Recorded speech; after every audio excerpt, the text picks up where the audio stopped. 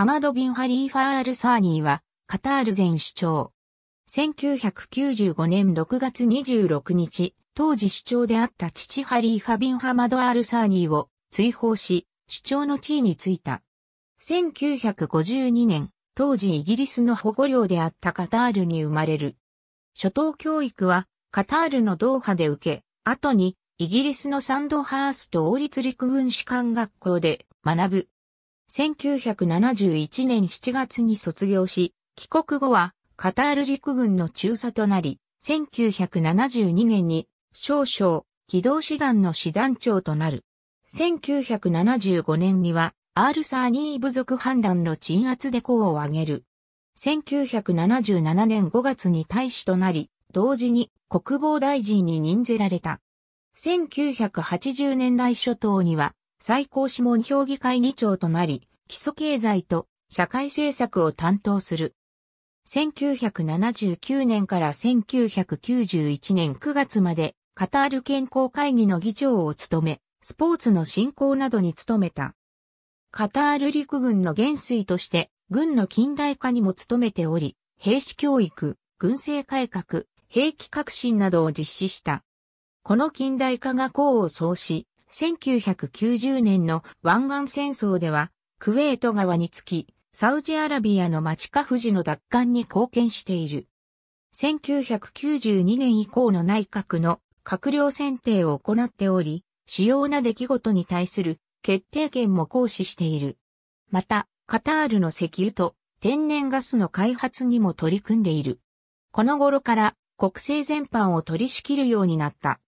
1995年6月26日、いとこと共謀して、スイスで休暇中の父を首長から解任し、6月27日に自らが首長の地位に就いた。2013年6月25日、大使のタミーム・ビンハーマド・アルサーニーに権力を移譲することを発表した。夫人3人を持つ。アラビア語、英語を話す。スポーツ愛好家であり、ダイビングにも熱心であった。また、鷹狩り、馬の飼育、競馬観戦の趣味もある。政策にもこれらが影響しており、国内工業化に特化した政策をとっていた父と比べて天然ガス開発、行政合理化、民営化、カタール人優先雇用政策などに力を入れている。カタール国内の運動競技発展に努めており、ハマドの活動によってカタール国内でなどの国際大会も開催されるようになっている。外交活動にも積極的で湾岸協力会議や数々の国際フォーラムでカタール代表を務めている。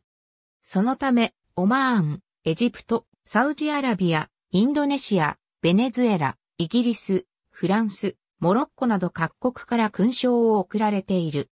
1997年、ハマド首長指導のもと、カタールは女性に投票権を与えている。これは湾岸協力会議加盟国の中では初である。